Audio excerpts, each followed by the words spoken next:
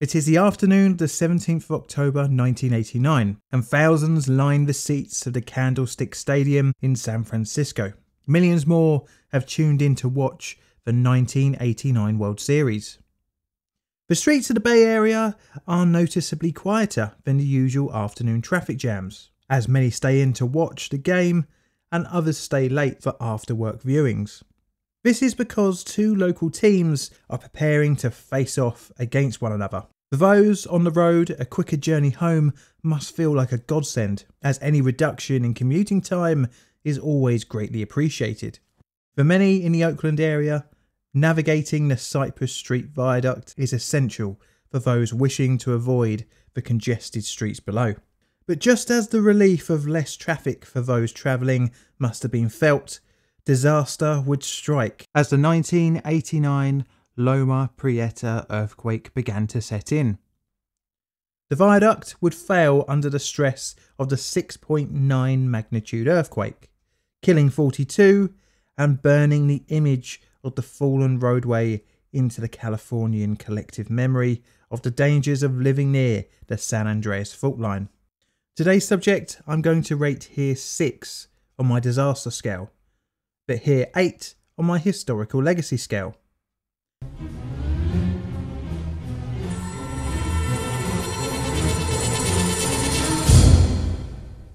In the late 1940s, the city of Oakland streets were awash with traffic, especially leading to the Bay Bridge along Cypress Street. A plan was conceived to alleviate the congestion issue with a new viaduct that would be built along the same alignment of Cypress Street.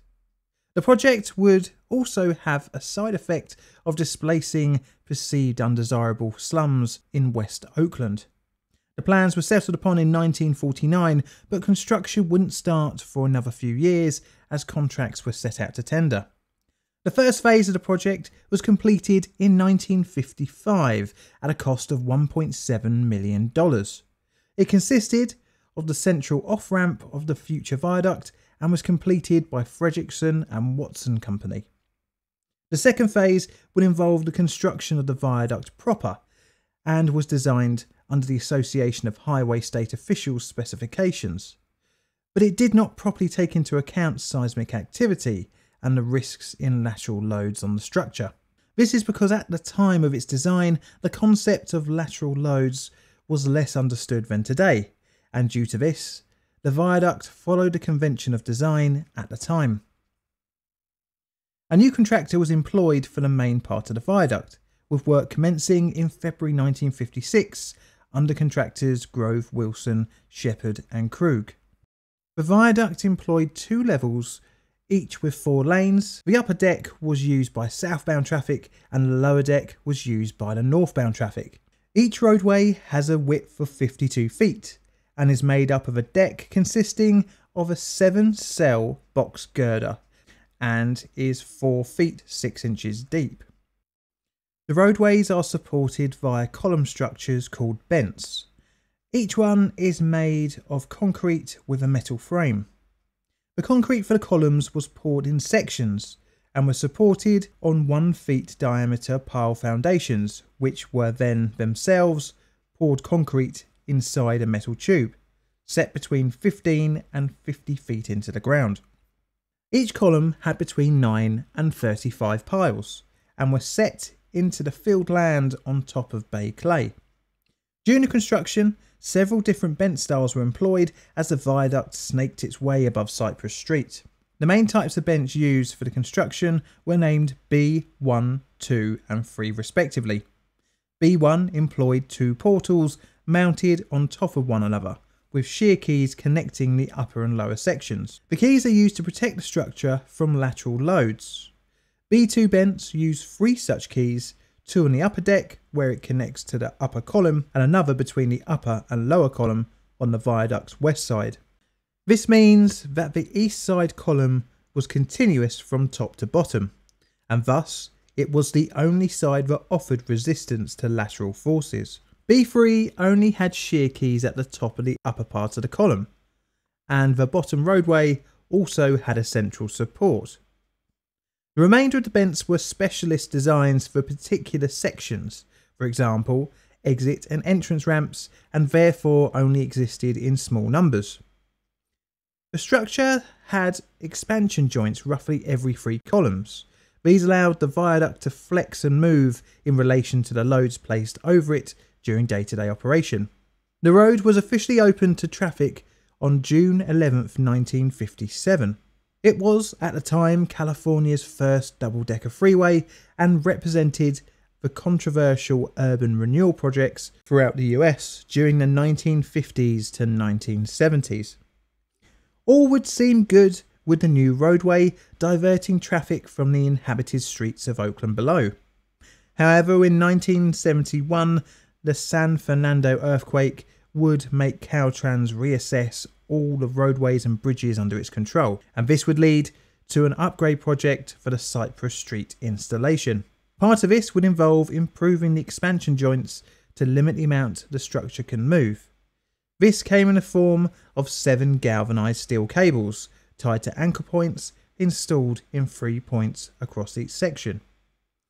This leads us up to the 17th of October 1989 and the evening of the third game of the World Series.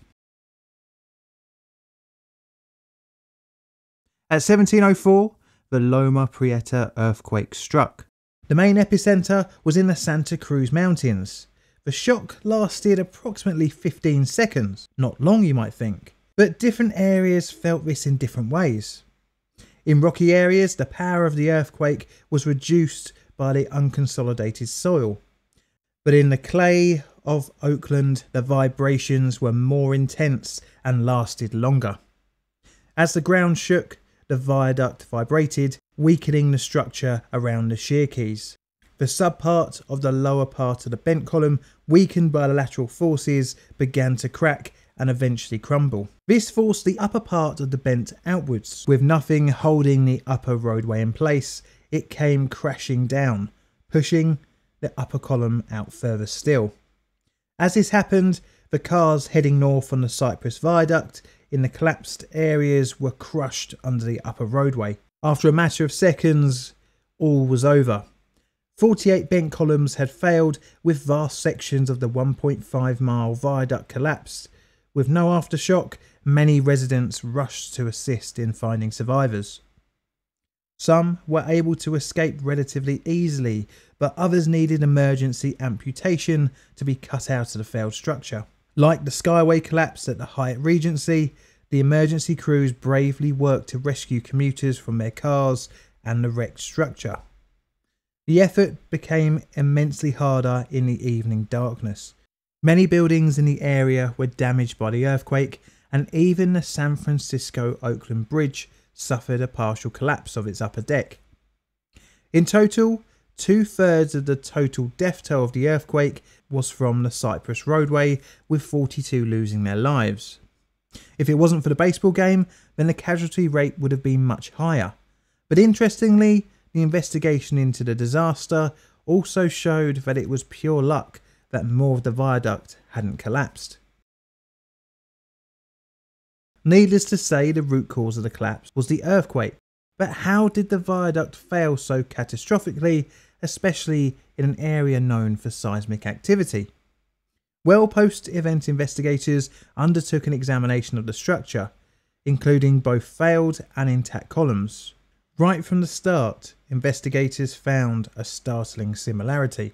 During the examination, many expansion joints were seen cracked around the anchor point, hinting that they had experienced extreme force pulling on the seven steel cables. B1 columns were found to have had the highest failure rates, followed by the B2 variant, although hardly surprising as both were the most commonly employed design. But investigators found that Bents 96 and 97 had survived the quake. For reference, the main part of the collapse was between Bents 63 and 112. Interestingly, these two were of the B3 design, which employed shear keys right at the top of the columns. Even more interestingly, between 96 and 97 was no modified expansion joint. In addition to this, each end of the collapsed section was a bent design different to B1 and B2. The section of the viaduct that had collapsed also had piles which were the deepest set into the clay. This led investigators to think that the root cause was higher levels of vibrations transmitted into the piles that were then affecting the shear keys on the B1 and B2 bents. In the investigation report, it was concluded that the cause of the collapse was in the stubs of the lower supporting columns, which, after being subjected to the lateral forces of the earthquake, failed, and thus the top half of the columns became unsecured. It was also found that reinforcement of this area was inadequate compared to modern day standards, and if the earthquake had lasted any longer, then the remaining bents could have also failed. But this brings up the question of why not incorporate more effective seismic activity protection. Clearly, it was understood that the viaduct was vulnerable to extreme lateral forces, as expansion joints were modified. Transcal had thought that a double-decker bridges and viaducts were stronger due to the extra support provided by the larger columns, and as such, had proposed upgrade works for its single-storey structures first. But even if the double-decker structures were prioritised, no effective measures could be employed on an inherently poor design. Ultimately, the issue came down to money, as there was no proper way to reinforce the existing structure effectively, meaning that replacement was the only way to fix the viaduct. Needless to say, it was not a realistic option when the current one cost $10 million in the 1950s. The remains of the viaduct were demolished and a new alignment was employed with a ground level design with a more conventional single story viaduct.